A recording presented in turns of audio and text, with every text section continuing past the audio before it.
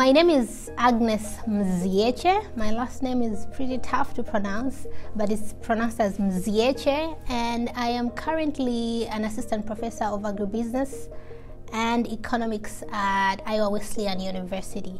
I grew up on a farm in Zambia just after graduating from my high school.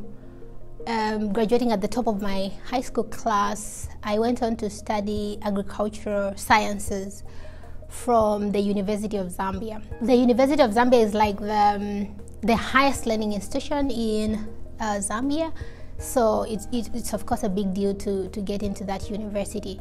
I had my eyes on um, looking out for a scholarship for my master's degree, and so in 2014, I got a Fulbright scholarship to study for my master's in agricultural economics at Kansas State University. And getting the Fulbright scholarship is one of my proudest moments because the scholarship is prestigious and it's only awarded to students who have really um, an outstanding academic performance and a leadership, leadership potential.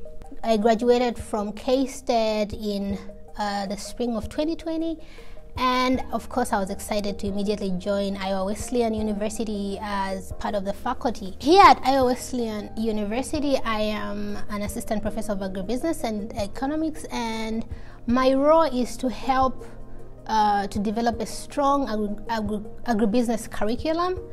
And that is very important because when we are thinking about an agribusiness curriculum, we want a curriculum that is strong and relevant to the industry so that our students are highly competitive on, on the job market.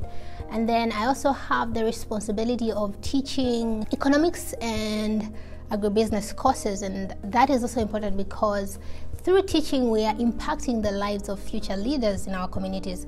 So, uh, in my teaching, I want to ensure that students have all the tools and uh, theories that they need to navigate the world, to solve the problems that we are facing now and the problems that they'll face in, um, in future. At the same time, as a new faculty, I've been given an opportunity to be part of the leadership of the Agriculture and Applied Economic Association, which is the largest and most uh, impactful association of agricultural economists in the world.